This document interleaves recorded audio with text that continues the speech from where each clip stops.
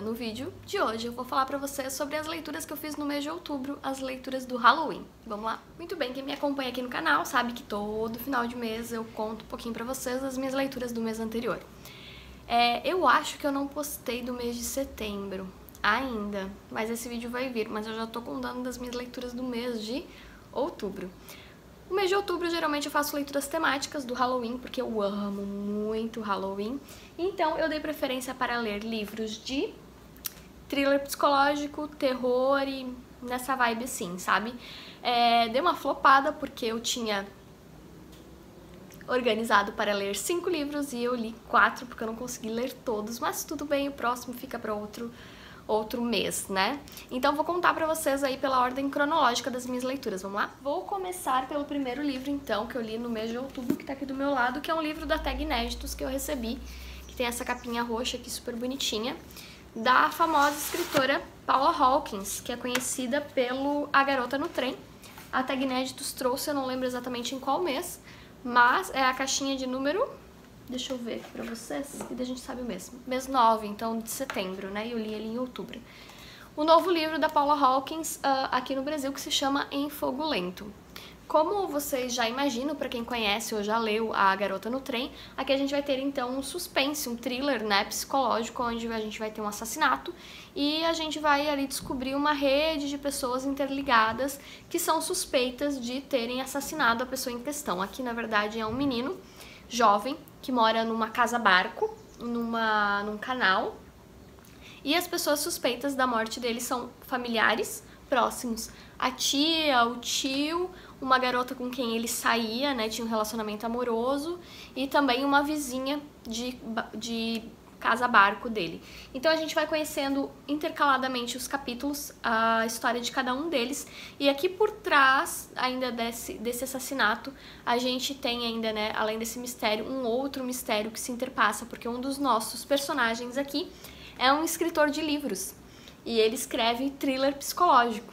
Então, uh, aqui a gente vai ter também a história, contando um pouquinho sobre essa história que é de sucesso desse escritor, que se entrelaça com outros personagens do livro e que conta a história de um serial killer. Então, é muito interessante, tá? Assim, não é o melhor livro que eu li esse mês, talvez eu achei que ficou tudo muito previsível.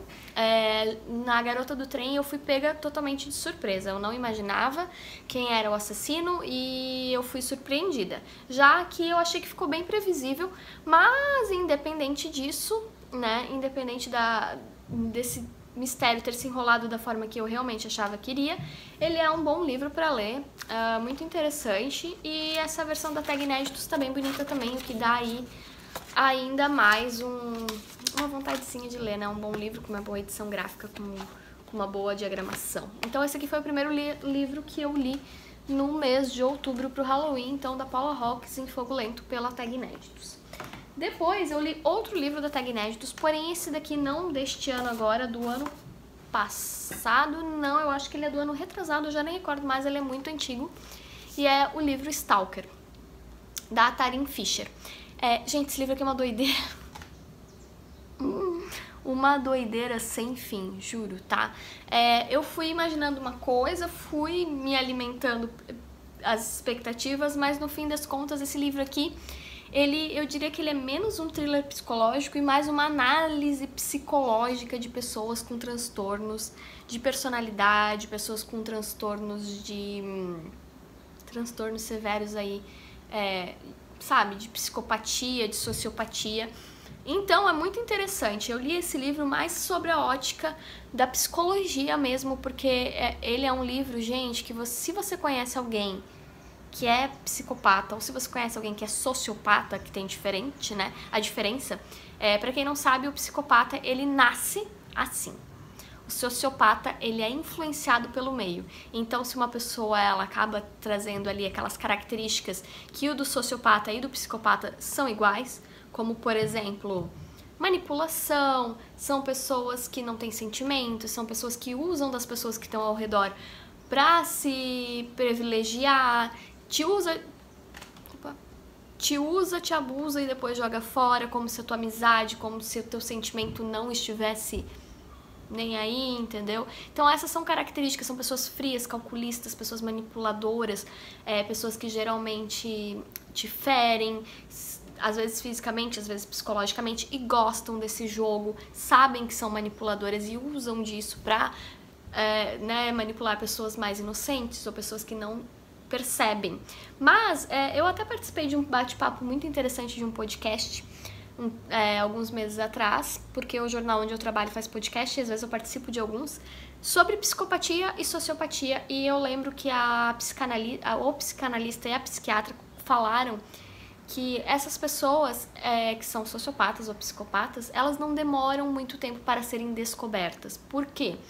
São pessoas que elas têm um uma ganância, algo tão enraizado nelas que elas não conseguem disfarçar por muito, por muito tempo. Então são pessoas que trocam de trabalho regularmente, ou são pessoas que estão muito intocáveis porque são chefes de empresas, são têm poderes políticos, enfim, né? É, pessoas que estão ou muito intocáveis, ou então que pulam de emprego em emprego, que não mantêm amizades fixas por muito tempo, porque no começo elas são pessoas muito é, impressionantes, pessoas encantadoras, em pessoas, pessoas que parecem boas pessoas, mas as pessoas logo, as outras pessoas descobrem que na verdade elas são né, ruins, que são pessoas que a gente quer distância. Então aqui também acontece isso. Nesse livro a gente vai ter então uma stalker, uma garota que simplesmente um dia passando na rua vê lá uma outra mulher e ela olha para a mulher e pensa: "Meu, ela tem a vida minha, ela, ela tá incorporada na minha vida. Essa era a vida que eu merecia e não ela. É, ela tem a filha perfeita, o marido maravilhoso e eu quero a vida dela e eu quero ser ela.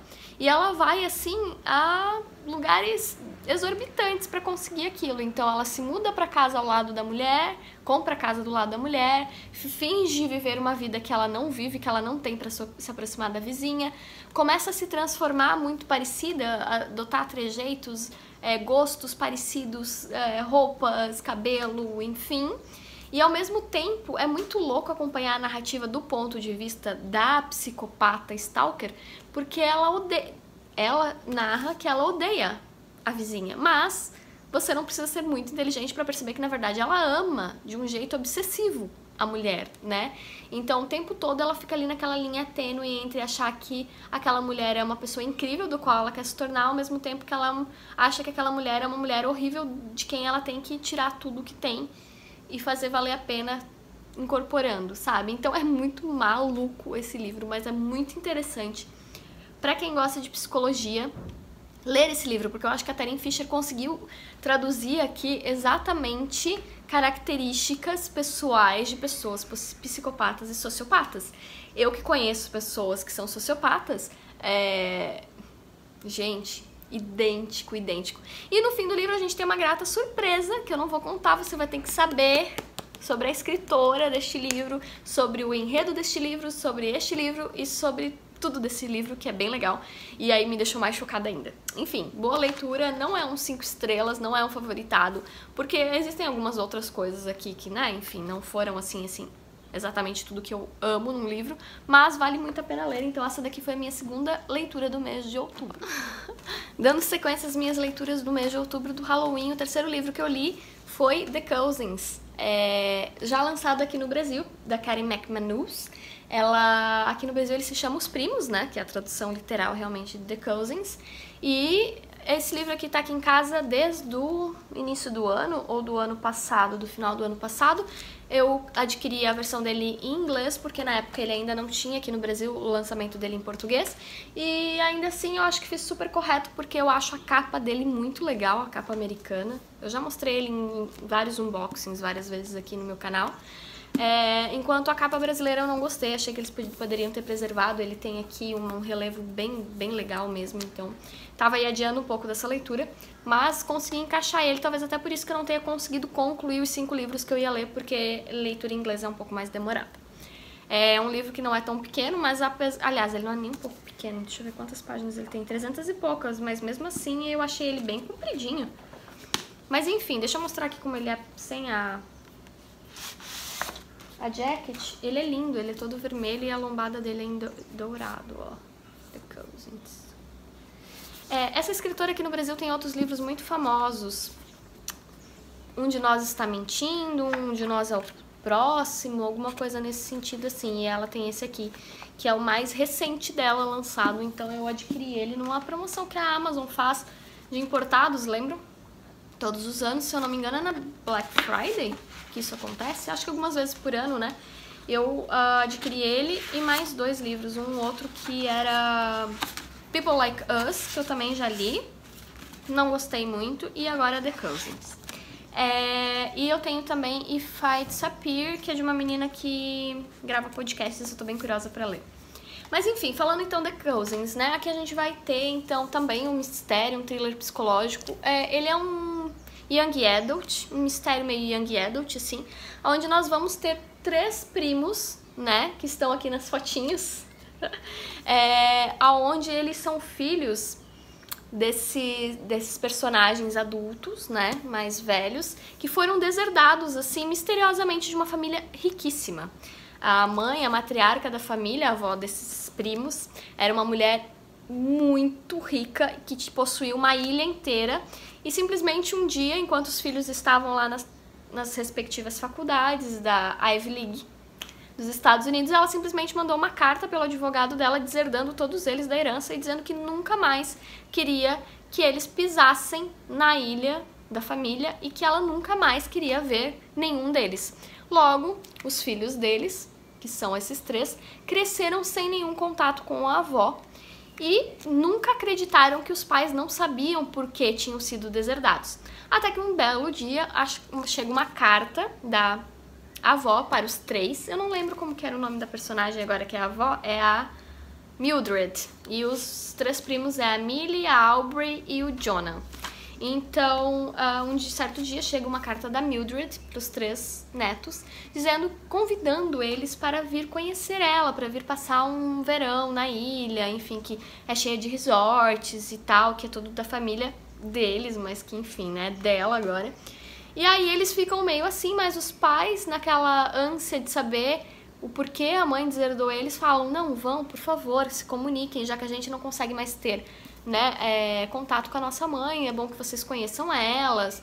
Enfim, cada um tem seus interesses pessoais por trás disso, mas aí a gente vai então acompanhar a história desses três primos, cada um com sua vida individual, seus segredos, suas coisas, e a gente também vai descobrir então por que, que a Mildred resolveu deserdar os pais dos primos. é legalzinho, não é cinco estrelas também, mas foi uma leitura bem interessante, foi divertida, tem umas passagens bem legais. A Karen McNews tem um tipo de escrita bem envolvente e eu gostei, foi bem legal, foi uma experiência bem, realmente bem legal. E aí, por fim, o último livro que eu li no mês de outubro foi de uma escritora favoritadíssima, todos os livros dela que eu li até hoje eu amei, e esse não foi diferente, eu realmente não esperava que fosse. Enfim, cinco estrelas favoritado. Deu medo pra caramba. Eu acho que assim, ela é uma escritora de thriller bem tenso e ao mesmo tempo tem um gore ali, sabe? No meio das histórias, porque são histórias pesadas de thriller. E eu achei que esse aqui é o mais pesado de todo, porque de todos, porque envolve criança de uma forma diferente. Todos os livros dela têm, na verdade, essa questão de envolver crianças, mas aqui é uma forma diferente, como eu falei pra vocês. Então eu tô falando de O que aconteceu com Anne, da CJ Tudor. É, eu só tenho mais um livro para ler dela, que eu tenho aqui em casa, As Outras Pessoas. Todos os outros três livros, Garotas em Chamas, uh, O Homem de Giz e agora O que aconteceu com Anne, eu já li, amei os três, mas uh, eu achei que esse aqui é o mais pesado. O que eu mais gostei dos que eu já li foi Garotas em Chamas, porém esse aqui ficou em segundo lugar. Então, aqui a gente vai ter história de um menino. Eu até vou ler o, aqui, esse bilhetinho aqui atrás, para vocês terem mais, mais ou menos uma ideia do que acontece. Quando minha irmã tinha 8 anos, ela sumiu. Na época, eu achei que nada poderia ser pior. Então, ela voltou. Então, a gente vai ter realmente uma história aqui, onde uma garota de 8 anos, que é a Anne, ela vai desaparecer. E o irmão dela, que é o nosso personagem principal, vai contar a história do porquê do desaparecimento da Anne, como esse desaparecimento se deu e como as coisas mudaram quando ela voltou.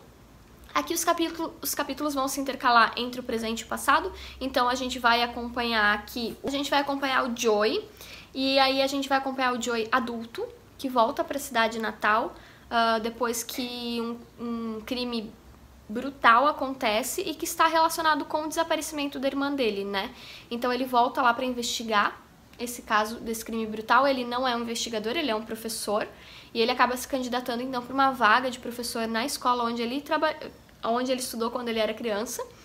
E ele é professor de literatura, então é bem interessante acompanhar, assim, porque ele cita vários livros, várias passagens interessantes, assim, de escritores, enfim.